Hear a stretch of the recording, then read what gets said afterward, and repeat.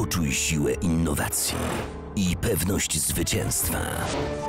Hankook Tire i Real Madryt. Zjednoczeni by wygrywać. Hankook Tire, globalny partner Realu Madryt. Dzień dobry, Mateusz Skwirawski, Jacek Stańczyk. To jest podsumowanie tygodnia. Jesteśmy najedzeni po świętach, ale wciąż głodni piłkarskich emocji, które, których w tym tygodniu będzie, będzie sporo, ale powiedzmy o tym, co wydarzyło się w zeszłym tygodniu. Przetasowania w ligowej tabeli. E, Po raz pierwszy w tym sezonie Legia Warszawa na pierwszym miejscu w tabeli, a Lechia od y, 13 kolejki była liderem przez 18 kolejek i za plecami Legii tuż na, e, na finiszu rozgrywek. Witam wszystkich. No tak, i tak jak sobie tydzień temu e, rozmawialiśmy, co to będzie w tej rundzie dodatkowej, że i, i nasza konkluzja była taka, że nie wiadomo. A, a, a- dzisiaj wiemy, że, że Legia chyba odjeżdża. Wszystko na to, wszystko na to wskazuje. Ja wiem, ja wiem że to, to jest Liga Polska. Ja wiem, że sam Aleksander Wukowicz mówi, że, że spokojnie tutaj każdy jest w stanie wygrać z Legią i no, moi piłkarze nie są Manchesterem City albo Barceloną. Ja im muszę przypominać, żeby nie fruwali w powietrzu, tylko, tylko jednak e, po tej trawie twardo stąpali. Ale no, w tym decydującym, na tym ostatnim zakręcie to teraz, to teraz e, Legia włączyła, włączyła dopalacze i Legia, i, i Legia, Legia odjeżdża. Co się dzieje z Lechią na tym ostatnim zakręcie, bo tutaj porażka e, na własnym stadionie z Piastem Gliwice, w poprzedniej kolejce e, z Krakowią też e, sporo takich wizerunkowych kłopotów Lechii Gdańsk, o których się nie mówi. No i przed tym teraz dwumeczem w, w tym tygodniu Lechia na pewno pod względem psychologicznym w trochę trudniejszej sytuacji niż, niż Legia. No właśnie, i tak jak szło przez cały, słuchajcie, przez cały prawie sezon, tak nagle przestało iść. E, mówiłeś o, ty, o tych problemach e, Lechii Gdańsk. Piast Gliwice teraz przecież przyjechał do Gdańska e, i, i, i- i problemem Lechii było to, że po prostu Piast Gliwice był lepszy E, i tak naprawdę kilka tygodni wcześniej też już powinien wywieźć, wywieźć, wywieźć trzy punkty z Gdańska, nie wywiózł wtedy, wywiózł teraz, był lepszy.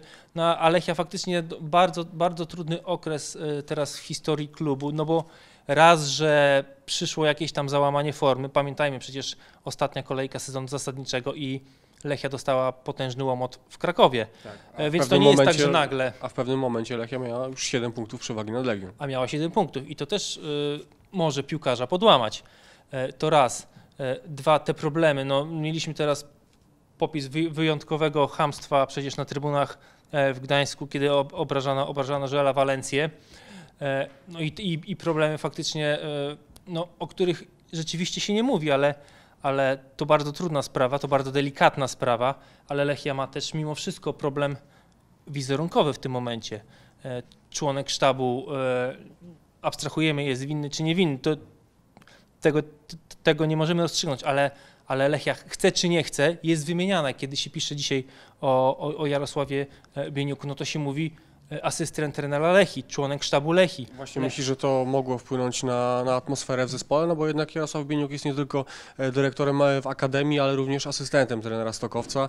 E, No to chyba taki ferment nie, nieprzyjemny mogło tam wprowadzić do, do szatni. No jestem sobie w stanie wyobrazić, że, że sytuacja jest e, bardzo ciężka, no i raczej żartów z tego powodu e, w szatni nie ma. E, I klub oczywiście wydał oświadczenie, że, że, że te wszystkie e, mm, zarzuty, ta cała afera nie ma, nie ma nic wspólnego z pracą Bieniuka w Lechi. I oczywiście ma rację i oczywiście Lechia próbuje ten problem od siebie jak najdalej odsunąć, ale tak czy inaczej Jarosław Bieniuk w naszym piłkarskim środowisku jest kojarzony z Lechią Gdańsk. To jest problem, o którym się, o, o którym się nie mówi, tak przynajmniej zauważyłem, ale który moim zdaniem jest. E, no i to jest jeden z tych, jeden z tych kamyczków, tak mi się wydaje, też do tego całego ogródka Lech Gdańsk. No a z drugiej strony faktycznie Legia się pozbierała do kupy. E, Legia pod wodzą Aleksandra Wukowicza też nie zachwyca, bo nie może zachwycać, bo to jest Polska Liga i, i nie zachwyca. No ale, ale teraz ma już trzy punkty przewagi. Tak, ma bardzo trudny tydzień przed sobą, bo, bo jutro wyjazd do Poznania, a potem mecz sezonu, mecz o Mistrzostwo Polski właśnie w Gdańsku. No i kto wie, czy w poniedziałek już tam w Warszawie szampany nie będą na Łazienkowskiej się mroziły. No właśnie mnie ciekawi to, kto wytrzyma e, psychicznie, mentalnie m, ten trudny tydzień. E, Lechia, e, tak jak wspomniałeś, będzie grała z Legią w sobotę, ale wcześniej jeszcze spotkanie z Pogonią i tydzień później m, mecz z Jagiellonią Białystok w finale Pucharu Polski. To zastanawiam się, czy tam przypadkiem może nie dochodzi do jakiejś małej kalkulacji, że jedne rozgrywki odpuszczamy kosztem drugich. Nie, ja myślę, że, że, takiego odpuszczania nie będzie, takich kalkulacji. Natomiast jeżeli pytasz mnie o mental, no to ja ci powiem, no to, no to jeżeli miałbym stawiać dzisiaj na to, kto, kto w tych ostatnich kolejkach y, będzie silny psychicznie, kto, kto powie sobie, my jesteśmy mistrzami, no to jest to obecny mistrz Legia Warszawa, który takie doświadczenia już ma i który, pamiętajmy, sezon miał po prostu bardzo, bardzo ciężki, z zawirowaniami niesamowi- niesamowitymi. Czegoś e, w Poznaniu w środę możemy spodziewać się takiego ekstra, e, czy raczej e, pewnego zwycięstwa Legii, no bo piłkarze Lecha tak naprawdę już o nic nie grają, no jakimś tam cudem, rzutem na taśmę, na taśmą, rzutem na taśmę mogą wywalczyć miejsce w europejskich pucharach, ale raczej po formie zawodników no trudno się tego spodziewać. Ja tak się zastanawiam, czy nie dojdzie czasem do powtórki z rozrywki z poprzedniego sezonu, kiedy kibice da, dadzą taki upust emocji, Mm, chociaż e, dowiadywałem się tam e, od osób pracujących w Lechu, że raczej e, taka, taka inwazja kibiców na, na stadion nie, nie jest spodziewana, tak jak w zeszłym sezonie. To delikatnie powiedziałeś, bo dzisiaj nasz kolega z Poznania, Szymon Mierzyński, do, dowiadywał się w klubie i, i w tym momencie chyba tam 11 tysięcy osób jest przewidziane. W tym momencie, na, na jutrzejszym meczu zapowiada się rekordowo niska frekwencja, jeżeli chodzi o, o mecze Lecha z Legią, Może więc na stadionie Warty Poznań byłym rozegrałem to spotkanie. może tam, no generalnie e, inwazji raczej się nikt tam nie spodziewa. Nie, nie spodziewam się również e, jakichś e, wjazdów na Morawę, chociaż faktycznie jakbym był kibicem e, Lecha Poznań, to może bym jeszcze raz wywiesił taki dosadny transparent, który wisiał w zeszłym roku. Mamy K dosyć, tylko wersja 2.0 bym to zrobił. Legia ma twoim zdaniem najtrudniejszy terminarz z tych wszystkich zespołów, które walczą o Mistrzostwo Polski, bo e, zespół z Warszawy czekają trzy trudne wyjazdy, tak? To jest e, Poznań, Gdańsk, a później Białystok. No, w którymś z tych e, spotkań można stracić punkt. No ale to, że któraś z każda z tych drużyn potraci jeszcze punkty, to jest pewne. E, e, Nie mamy piłkarzy o tak ustabilizowanej formie, żeby wygrywali wszystko. Sam o tym dobrze wiesz, bo piszesz o polskiej lidze od dawna. Ja nie wiem, czy to jest trudny terminarz, czy to jest łatwy. Jeżeli popatrzysz e, teraz na ten tydzień Legii, no to oczywiście wyjazd do Lecha zawsze jest trudny, bo zawsze to hit, bo zawsze to klasyk, bo zawsze to jedno z najważniejszych meczów, jeden z najważniejszych meczów w sezonie. Potem e, tak, wyjazd do Gdańska, bo Lechia cały sezon była liderem, bo Lechia e, u siebie nie przegrywała i to będzie mecz o Mistrzostwo Polski. No ale umówmy się, że no, a z drugiej strony ktoś może przyjechać do Legii i wygrać z tą Legią na Łazienkowskiej. Na przykład Piast Gliwice, tak? No, na, do przykład, Warszawy. na, przykład Piast, na przykład Piast Gliwice, który, który, e, który teraz zachwyca, po prostu zachwyca. Jak na swoje możliwości, jak na swój potencjał, e, zachwyca.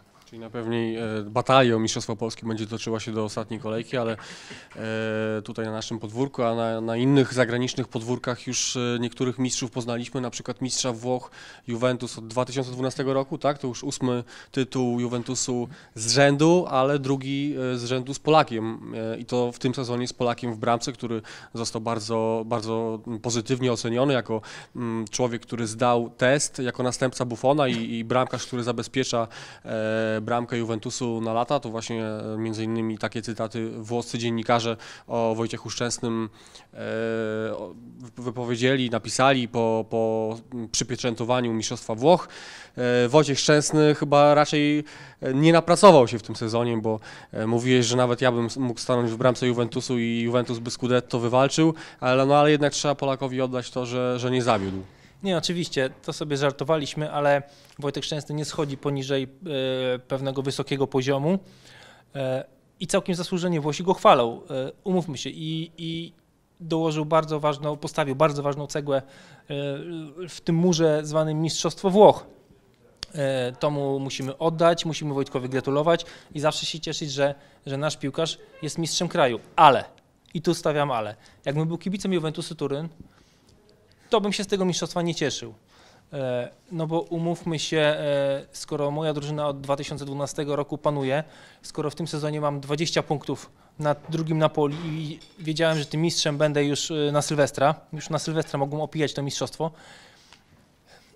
no to jeżeli jestem takim też kibicem i klub mi sprowadza Cristiano Ronaldo, to nie po to, żeby wygrał Serie A, tylko po to, żeby wygrał Ligę Mistrzów. A najlepszym podsumowaniem e, całych, e, całego występu Juventusu Turyn e, w tym sezonie w, Ligi, w Lidze Mistrzów były właśnie, Wojtka Szczę, właśnie słowa Wojtka Szczęsnego, który po dwóch meczu z Ajaxem powiedział, oni byli lepsi przez 180 minut. Czyli fani Juventusu nie powinni świętować Mistrzostwa Włoch. No ja bym, ja bym oczywiście może poszedł na piwo z kolegami, stuknął się raz kuflem i, i poszedł sobie do domu wściekły, że, e, że nie wygrałem Ligi Mistrzów, bo, bo dla kibica Juventusu dzisiaj, e, dla piłkarza Juventusu e, wygranie Serie A to jak przyjście do biura codziennie, wypicie kawy i zajęcie się swoimi obowiązkami. No, łaski nie robili. Kilka większych piw na pewno wypił e, w Salonikach Karol Świderski. On wywalczył z Paokiem e, mistrzostwo, Wo- e, mistrzostwo Grecji oczywiście. To było pierwsze mistrzostwo Grecji dla Paoku po 34 latach. Polak zagrał w 10 spotkaniach w lidze, 4 gole, jeżeli dobrze pamiętam. Gol nawet w tym spotkaniu, w którym Paok wywalczył mistrzostwo wygranym 5 do 0. E, Fajnie, fajnie chyba kariera Świderskiego się rozwija po transferze z Białego Stoku. Zaczął grać w Grecji tak na, na, na początku stopniowo, później regularnie Mistrzostwo Grecji i na pewno to zaprocentuje doświadczenie na przykład w Mistrzostwach Europy, jakie czekają Karola już niebawem. Jeszcze te, te statystyki, które przytoczyłeś trochę podkręcę, bo we wszystkich rozgrywkach to było 13 meczów, to było 6 goli i dwie asysty od stycznia. Czyli yy, prawdop- nie wiem, czy ktokolwiek przewidywał w Polsce, że wyjedzie sobie taki Karol Świderski. Okej, wyróżniająca się postać naszej ligi, ale na pewno nie jakaś wielka gwiazda. 22-letni chłopak, dalej 22-letni młody. chłopak, młodzieżowy reprezentant Polski, który wiemy, że dobrze gra w piłkę, ale zawsze coś, zawsze coś tam mu jeszcze brakowało, żeby, żeby taki ostateczny stempel, e, stempel postawić, a on wyjechał do Poku. Wyjechał w momencie, w którym klub sprzedawał największą gwiazdę e, Aleksandra Prijowicza, e, piłkarza, od którego Paok był w, ostatnich, e, w ostatnim sezonie, w ostatnich mm, tak, miesiącach uzależniony. Stał się gwiazdą i się Paoku i gwiazdą, gwiazdą tak. ligi. E, No, no i wchodzi Karol Świde, Świderski i po pewnym czasie e, e, tam miejscowi mówili na niego Swarowski. No, brylancik, diamencik, wiadomo. Ja teraz e, przy- przed, naszym, przed naszą rozmową specjalnie zapytałem kolegę, e, kolegę z Grecji o, o trzy słowa, którymi określiłby dzisiaj Karola Świderskiego. I on mi powiedział tak, użyteczny, obiecujący i cierpliwy. Karol e, Świderski ciągle jeszcze musi się przebijać.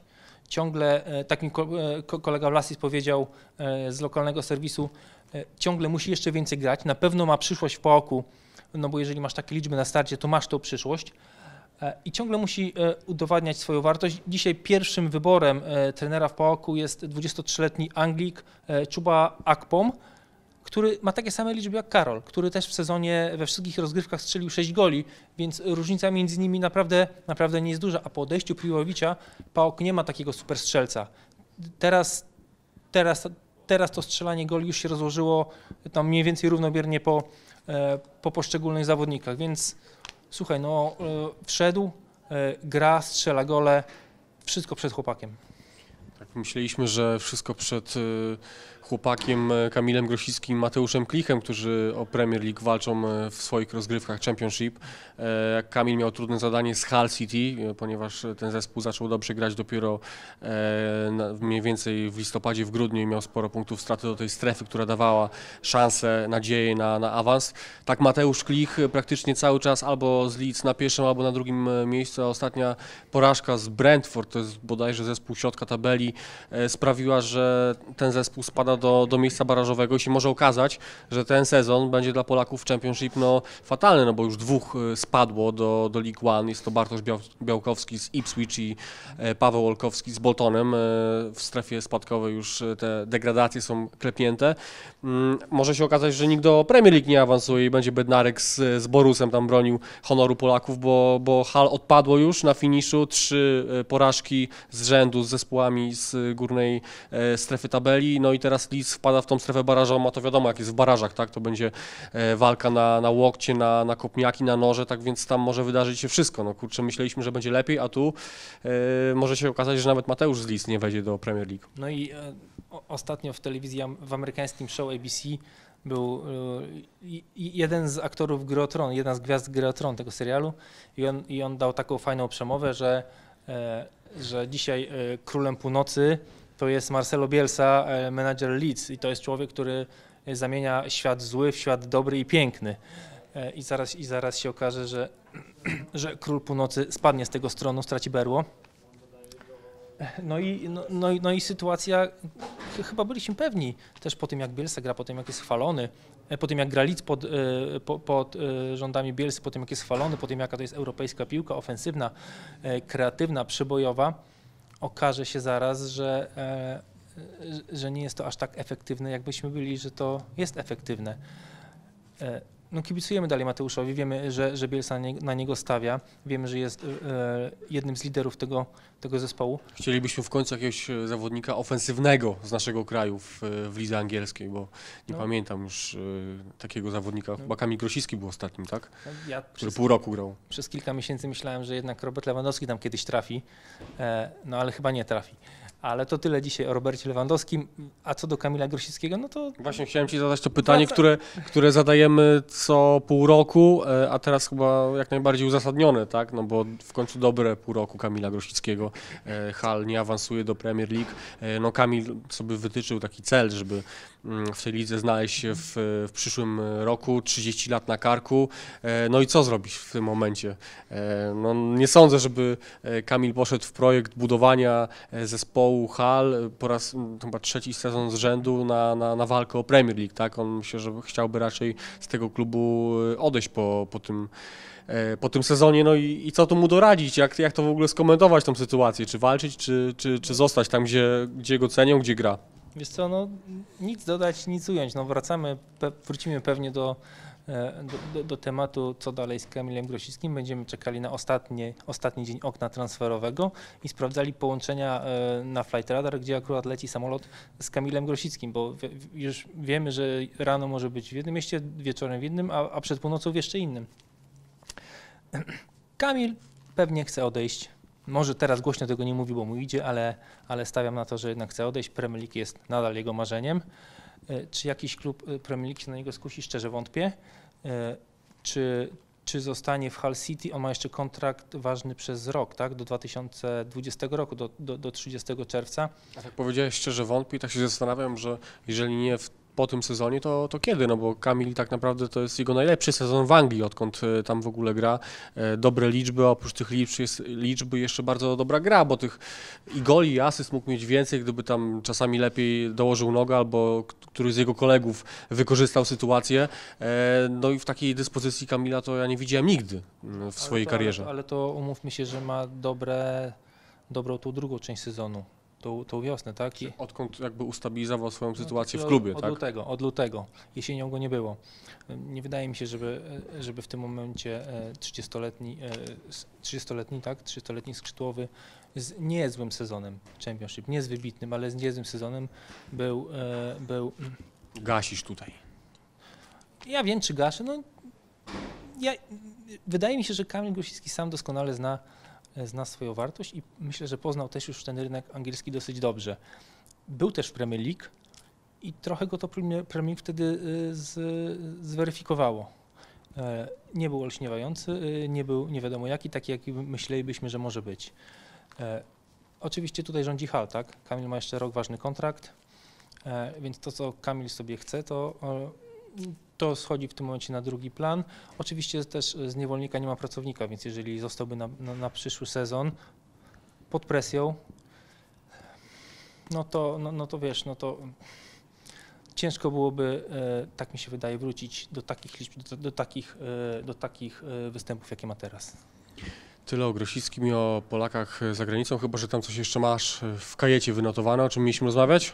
Nie, wszystko już prze, przegadaliśmy. Tym razem Robert bez rewelacji, Krzysiek Piątek bez rewelacji, więc Więc trzeba było się ratować e, Championship. E, Tyle Jacek Stańczyk, Mateusz Skwirawski. Zapraszamy na kolejne podsumowanie tygodnia w e, przyszłym tygodniu.